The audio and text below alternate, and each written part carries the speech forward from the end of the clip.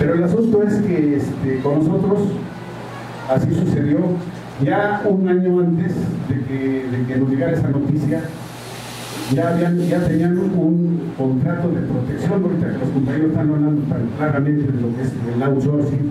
Entonces ya tenían firmado un contrato de protección con los abogados que nos representaban al sindicato, que eran los, famosos callejas ¿no? de la. Pero esos ya les habían firmado un contrato de protección. Se llama contrato de protección porque protege al patrón.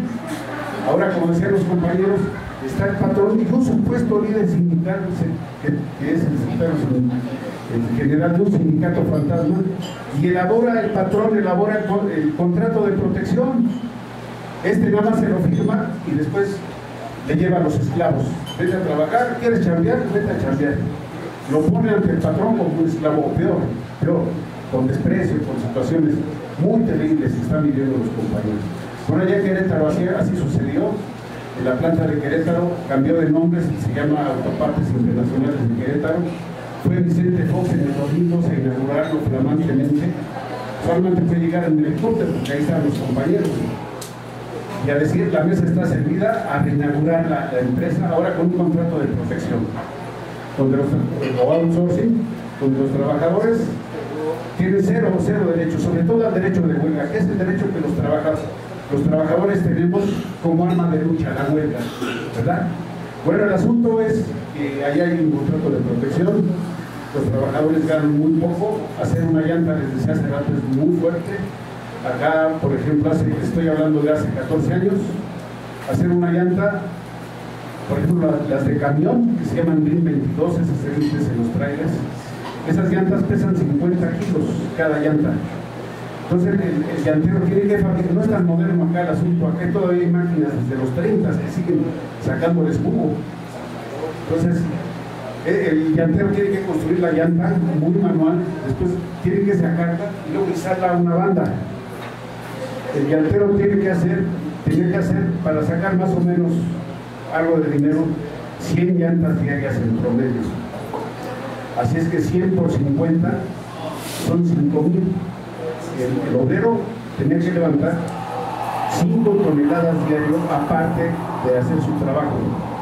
Por eso en la actualidad la mayor parte de los compañeros, la columna, la cintura, la biología reclama, ¿verdad? Bueno, ese es el asunto de una historia de un despojo. La situación ha sido terrible.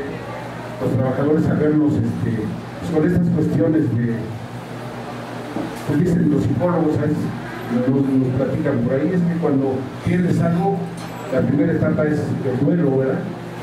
Y después haces un convenio para salir de ese duelo. Muchos, muchos nos quedamos en el duelo, no aceptamos que nos hayan despojado de esa manera, que nos hayan quitado nuestro trabajo de esa manera. Entonces nos hemos dedicado por ahí algunos a platicar nuestras experiencias, sobre todo a los jóvenes y a las jóvenes que vemos ahora tan terribles. Ahora los jóvenes y las jóvenes inclusive se llevan a su casa trabajo, trabajan más de 12 horas, y luego todavía se llevan el trabajo para terminarlo ayer en la noche y llevarlo al día siguiente a la chamba, ¿no? Es algo tremendo el asunto del mundo del trabajo, cómo el Estado, el capitalismo nos ha despojado, nos ha robado nuestros derechos. El asunto aquí, por ejemplo, allá en, en Autopartes Internacionales, la liberación de la mujer, es muy bueno el asunto, pero acá el capitalismo es el que le está liberando a la mujer han entrado compañeras a trabajar, son trabajos muy fuertes, se han accidentado muy fuerte las compañeras, hay que hacer este, fuerza terrible, muchas de ellas pierden a sus bebés porque tienen que hacer fuerza, el trabajo es trago fuerte, ¿no? que, a lo mejor biológicamente este, o, históricamente no se tienen esas capacidades para levantar pesos muy fuertes, ¿no? O trabajar en una máquina que fue diseñada para un varón con mucha fuerza, jalar ¿no?